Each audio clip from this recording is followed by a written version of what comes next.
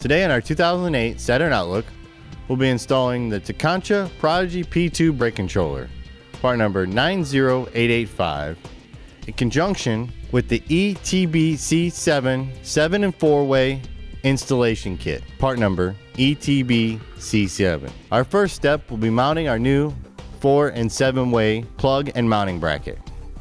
The bracket and attachment hardware comes with the installation kit. Let's go ahead and mount the bracket to the 7 pole. Next, we'll go ahead and mount the 7 pole bracket to the hitch bracket. Again, the hardware is provided with our install kit. Now with the 7 and 4 way secured to the hitch, ready to go ahead and start wiring, attaching to the manufacturer's or wiring already supplied with the vehicle. First, I'll simply cut away some of the zip ties securing the 4 pole connector on the vehicle so that we can connect it to the 4 pole on our new 7 pole plug. We'll also use some dielectric grease, part number 11755, to help prevent corrosion in between the plugs. An added measure to keep the two plugs together, I'll go ahead and take a zip tie to secure them. Go ahead and remove or cut off the purple wire coming from our new 7 pole as it will not be used in this application. Now with that done, we'll go ahead and wrap up our wires with some black electrical tape. We'll go ahead and stop there as we'll need to make two more connections.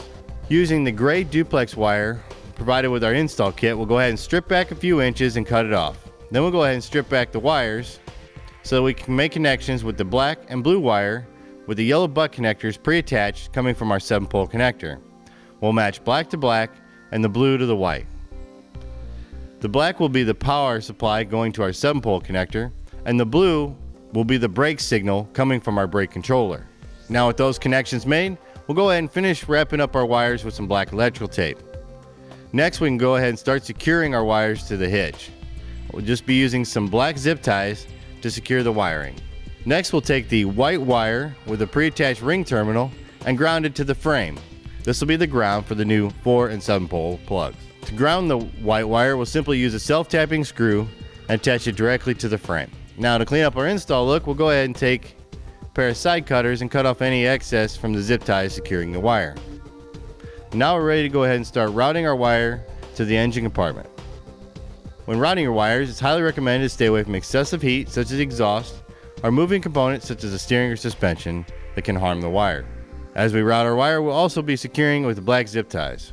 Now that we have the wire routed to the firewall or engine compartment of the vehicle, the white wire will be routed into the cabin. So we'll need to go ahead and find a suitable grommet to route the wire through.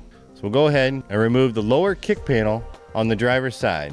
To do this, there are three push pin fasteners that'll need to be removed. Now with the fasteners out, we'll go ahead and remove the kick panel and set it aside for reinstallation later. Through the firewall, there's a suitable grommet that will get us to the lower portion of the engine compartment. Now to make a hole through the grommet, we'll go ahead and take our utility knife and cut a hole in the grommet. Then I'm gonna take my screwdriver just to make sure the hole's large enough to get my wire through. Take a piece of air tubing to assist in pulling our wire up into the engine compartment. You could also use a stiff piece of wire in this application. It'll just be a leader or pull wire to assist us in getting through the grommet. Now with my pull wire, down below, we can go ahead and take some black electrical tape and tape the white wire to it, pulling it into the engine compartment. Now with the wire into the engine compartment, we'll go ahead and cut off the excess. To keep track of my wires, I'll now go ahead and take some blue tape and wrap it around the wire, noting that this wire originates from the 7 pole connector, again from the blue wire, which will be the brake signal coming from the brake controller, which will also be a blue wire. Now with the excess cut off, I'm going to take my pull wire and send it back through the grommet, leaving the white wire we just cut off attached. We'll pull this back underneath the vehicle, attach the black wire we just ran from the 7 pole connector to the pull wire, and run them both to the top of the engine compartment. Now we're ready to go ahead and run the power wire. It'll run from the battery to the brake controller. Again, to route our wire, we'll go ahead and take our red pull wire, feed it in through the grommet, We'll attach our power wire from underneath and pull it into the cabin of the vehicle. Go ahead and remove the pull wire, attach it to the other end of our power wire, and feed it up to the top of the engine compartment. Now we can route it over to the passenger side with the power wire and ground wire we've previously run. Now with all our wires run, we're ready to go ahead and start making our connections. We'll first need to determine which wire we will be getting our brake signal from the vehicle. You'll notice over here on the driver's side, there's a tow plug port that is unused. This vehicle is not equipped with a tow package. However, this wire is still hot, as we can see by using our test light and testing it. So we can use this white wire from the tow plug port as our brake signal circuit. It will run to the red wire for the pigtail for our brake controller. Now we'll go back to the wires we routed previously. we take the white wire with our blue tape, we'll cut off any excess from the white wire. Now we'll go ahead and strip back and use the yellow butt connector. Cut off any excess from the pigtail. That'll go to the brake controller as we don't need this much length in our wire. Now we'll go ahead and strip back each end and we're ready to start making our connections. We'll take the blue wire and connect it to the white wire that we indicated is our brake signal circuit for the 7 pole and use the yellow butt connector to make the connection. Now we can go ahead and repeat the same process with the black wire from our brake controller pigtail to the black wire that we previously ran through the grommet and the white wire which we ran through the grommet and up to the engine compartment as our ground for the brake controller. With those connections made, we'll go ahead and take some black electrical tape and wrap up these three wires. Next, I'll go ahead and wrap up a few inches of our red brake signal wire that will be making connection with the white wire from our tow port. Now with that done, to make sure I've got enough wrapped up, we can go ahead and mount the brake controller bracket. We'll use the two screws provided with the install kit. Now with the brake control bracket mounted, we can go ahead and plug into the brake controller and set it into the pocket. Next, we'll go ahead and route the red wire over to the tow port.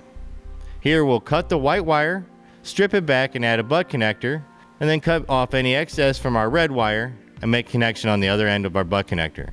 Now we'll go ahead and take some black electrical tape and wrap up this connection point. Now with all the connections made here under the dash, we're ready to go ahead and reinstall the kick panel. Next, we'll go ahead and move back to the engine compartment the wires run over to the passenger side fender. To make a little room to install our breakers, we'll go ahead and remove the ground stud. We'll be mounting the breakers with our install kit here on the side of the inner fender well. Our first breaker we'll mount, we'll, go to the brake controller, will be our 20 amp breaker. The second breaker will be our 40 amp breaker that will lead to the 7 pole connector at the back of the vehicle. Now with our breakers mounted, we'll go ahead and cut off the excess from our power wires add ring terminals, and secure them to the breakers with the hardware provided. Next, we'll go ahead and cut off the excess from our white ground wire, add ring terminals, and then we'll slide the ring terminal over the ground stud. Now we need to make two jumpers to go from our breakers to the positive battery terminal. We'll go ahead and take the leftover wire that we cut off previously from our power wires, strip back both ends and add ring terminals. Attach those to the breakers and then route them over to the positive battery terminal. And now we'll remove the nut securing the positive battery post. Install the two ring terminals and re-secure it with the nut. Now we can go ahead and reinstall the positive battery terminal cover. To clean up our install look, we'll now go ahead and take our side cutters, cut off any excess from the zip ties that we previously installed. And that'll complete the install of the Tekonsha Prodigy P2 brake controller, part number 90885, in conjunction with the ETB C7 7 and 4 way installation kit for our 2008 Saturn Outlook.